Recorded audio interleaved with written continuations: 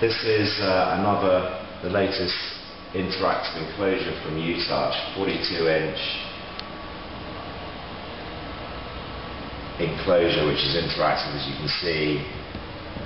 And we're doing 40, 46 inch, 52 inch, lots of different sizes and we can brand it and make it whatever colour the customer wants and it's completely encapsulated making sure that nobody can get to any of the buttons, any of the menu settings or pull out the power etc.